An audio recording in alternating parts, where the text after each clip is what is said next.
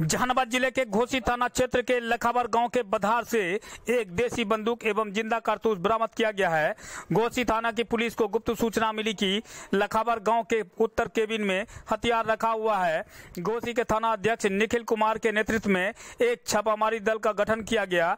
जब पुलिस उस केबिन के पास पहुँची तो दिखा कि उसमें ताला लगा हुआ है। पुलिस द्वारा किसी तरह से उस केबिन के दरवाज़ा को खोला गया। पुलिस जब अंदर पहुँची तो देखा कि एक बोरा में देसी बंदूक एवं ज़िंदा कारतूस बाँध कर रखा हुआ है। पुलिस द्वारा इस देसी बंदूक एवं ज़िंदा कारतूस को बरामद कर लिया है। यह केबिन डोमन यादव का बताया जाता है। पुलिस द्वारा बंदूक को बरामद कर लिया गया है और स्थानीय थाना में प्राथमिकी दर्ज कर जाँच में जुट गई है। जाँच के बाद ही स्पष्ट हो पाएगा कि किसके द्वारा इस केबिन में हथियार रखा गया है। पुलिस सभी पहलुओं पर अपने असर से जाँच में जुट गई है। पुलिस का कहना है कि हथियार रखने वाले को जल्द से जल्द गिरफ़्तार किया जाएगा। गोसी के थाना अध्यक्ष ने बताया कि सभी पहलू पर जाँच की जा रही है।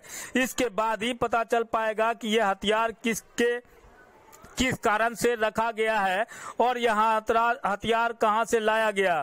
सभी पहलू पर जाँच की जा रही है। जाँच के बाद स्पष्ट हो पाएगा। दिनेश कुमार की रिपोर्ट।